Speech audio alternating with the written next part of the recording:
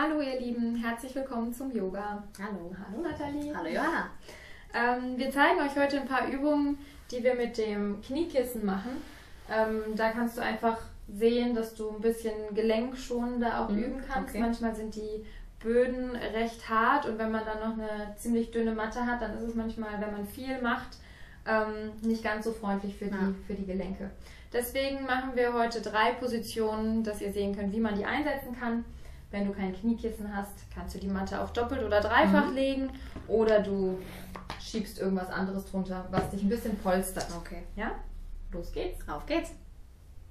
So, und zwar starten wir im Vierfußstand und du hast das Kissen schon unter deinem linken Knie. Und dann streckst du mal dein rechtes Bein nach hinten raus.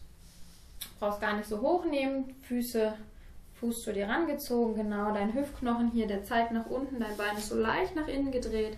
Spür diese Spannung im Bauch. Lass den Rücken ganz gerade. Wunderbar. Atme ganz tief ein. Im Ausatmen ziehst du dein rechtes Knie zur Brust ran und stellst den Fuß mal vorne ab. Genau, wunderbar. Heb die Arme dann nach oben. Atme ein. Ganz viel Länge in den Flanken. Zieh die Schultern tief und atme aus. Einmal mehr einatmen. Kannst in der Ausatmung ein bisschen weiter nach vorne sinken in deiner Hüfte. Und hast die schöne Polsterung unter dem linken Knie. Einmal mehr ein.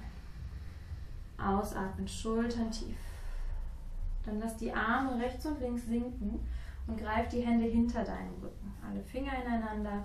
Streck hier die Arme durch, sodass du schon dein Brustbein heben kannst.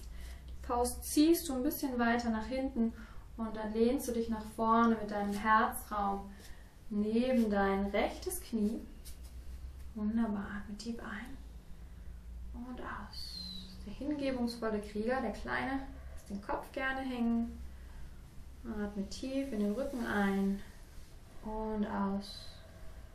Und einmal mehr. Faust Richtung Decke und Kopf Richtung Boden. Wunderbar. Und dann rollst du schon wieder nach oben zurück, richte dich auf, löst die Arme für einen Moment. Kannst die Hände ein bisschen ausschütteln. Sehr, sehr gut. Geht das noch auf dem Knie? Ja, sehr entspannt. Wunderbar. Dann kannst du hinten deine Ferse mal Richtung Po ziehen und greifst dir dein Sprunggelenk. Ja, super. Und auch hier versuch dein Brustbein nach vorne oben zu ziehen. Die Schultern tief und die Ellbogen kannst du aufeinander zunehmen. Genau. So hast du eine Dehnung in der linken Oberschenkelvorderseite und kannst ganz stabil und geschützt auch noch in eine sanfte Rückbeuge gehen, indem du dein Brustbein nach vorne oben ziehst.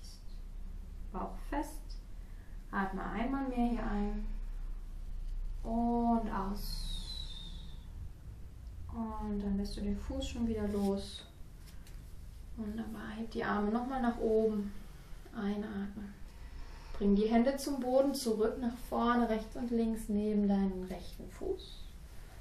Streck dein rechtes Bein wieder nach hinten, da kommst du her. Genau, atme nochmal ein hier, dreh die Hüfte nochmal. Geschlossene Hüfte, Fußflex. Ausatmen, bring Knie neben Knie und komm in eine Kindeshaltung. Hier kannst du natürlich das Kissen zur Seite nehmen, sodass du nicht unterschiedlich hoch mit deinen Knien bist. Und hier machst du Pause. Tief ein in den Rücken und aus. Du kannst deine Ellbogen Richtung Boden hin entspannen. Ja, einmal mehr ein und aus. So, wir hoffen, ihr hattet Spaß mit dieser Sequenz. Dir geht's gut, oder? Auf jeden Fall. Ja, wunderbar. Und wenn ihr das übt, zweite Seite nicht vergessen, wir haben jetzt nur eine gezeigt. Bis nächste Woche. Tschüss.